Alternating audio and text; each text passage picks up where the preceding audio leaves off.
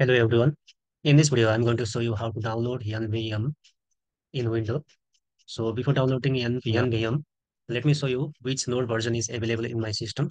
So I write the node hyphen v and node version 20 is currently available in my system. So let me check for NVM, NVM hyphen v and NVM version 10 is available in my system. So uh, let me visit NVM window repository. From this repository, uh, I'm going to download the NVM. Basically, NVM window is the tool uh, that is used to manage the different version of Node in Windows. So directly NVM uh, isn't supported for Windows. It's only support for Linux and Mac. So this is the alternative of NVM. So let me download the NVM window by click on download now.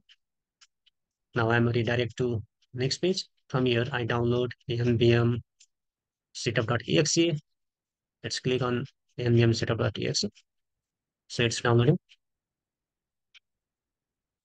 Uh, by the way, I already downloaded the nvm setup.exe, so there's not needed of this one.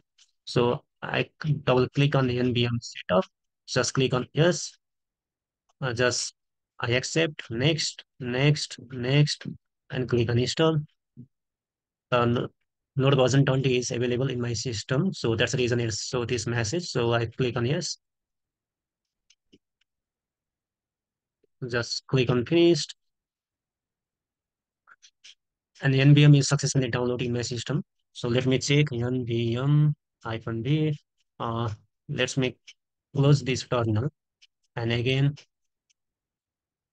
open command prompt and NVM hyphen v. Uh, as you can see, the NVM version one is download successfully.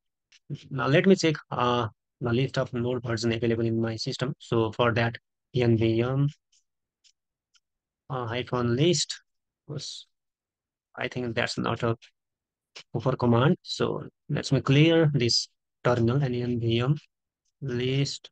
So only one node version is available in my system. So let uh, let me download the NV uh, node version 10. For that, I'm going to write the NVM install 10.0.0. It's a download node version 10. It, uh, it takes some time. So it's downloading.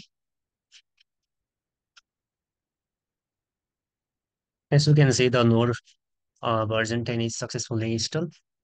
So let me check the available node version for that NVM list, not NVM list. So the available node version are 20 and 10.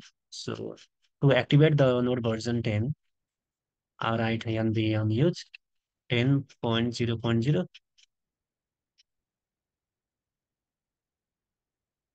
Now, again, I check the NVM list.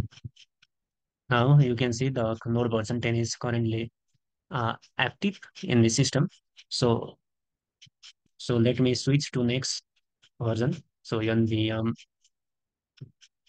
use 20.16.0. Now, now I'm going to uninstall node version 10. So for that, NVM um, uninstall 10.0.0.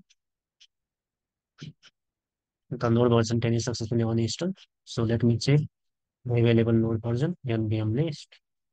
So only one node version is available. So let me check the NPM version. So it's 10. So in this way, you can download the NPM in Windows. So only this much for this video. Thank you for watching guys.